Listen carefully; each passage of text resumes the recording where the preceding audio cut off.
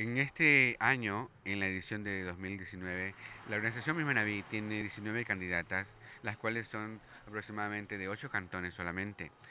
Eh, hemos tenido diferentes llamadas para chicas que vengan a participar. Eh, en sí, se seleccionan chicas que tienen belleza e intelecto, o lo uno o lo otro. La organización Mismanaví se esmera en elegir en el certamen de Mismanaví la mejor representación de la mujer manavita en belleza e intelecto.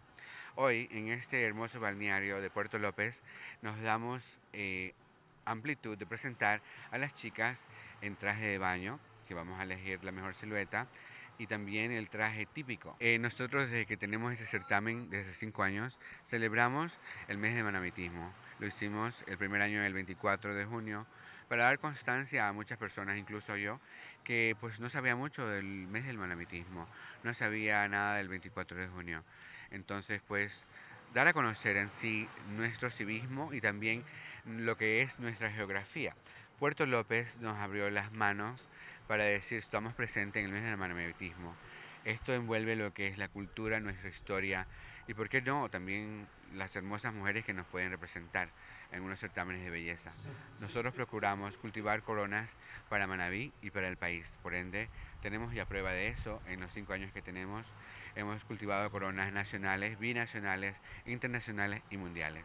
Manabí se puede decir que está en ese sentido, tratando de, de en alto, de tener esta representación, inclusive a nivel, a nivel internacional, usted lo dijo. Bueno, en sí esto no, es, no se queda aquí nomás, solo son cinco años de trabajo.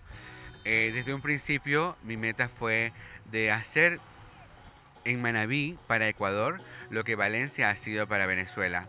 Un estado, una provincia donde la gente viene a prepararse, a producir y a fabricar mujeres de belleza para certámenes internacionales haciendo de esto un mercado competente, no solamente para la organización Mismanaví y otros certámenes de belleza, sino para todos los mixólogos que trabajamos acá en esta provincia.